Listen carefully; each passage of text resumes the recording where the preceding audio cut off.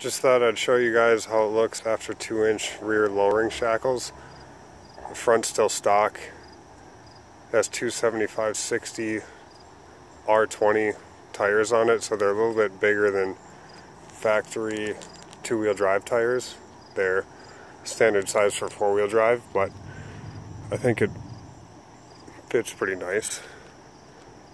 Looks a lot better. New shocks in it too.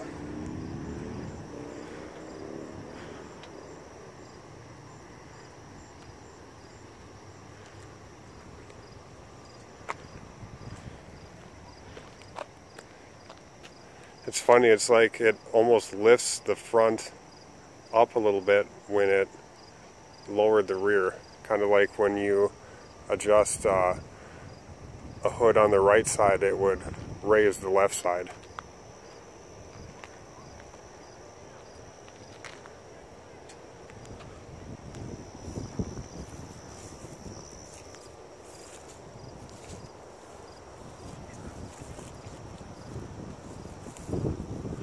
I was initially thinking of going with a 2-4 drop on this, but I think I think this will just be fine.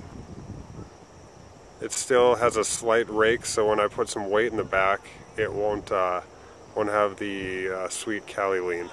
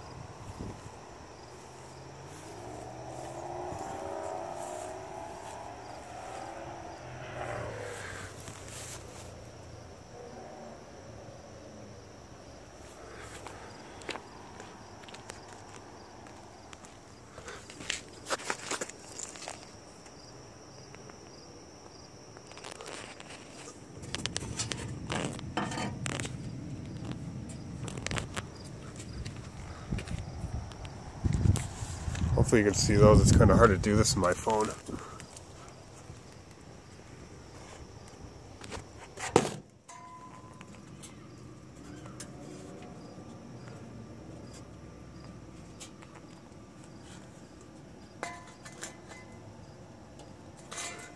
They have a grease zerk built into them, which is nice too.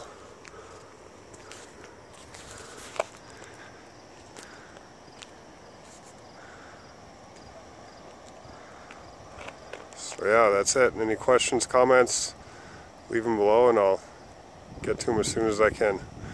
Thanks for watching.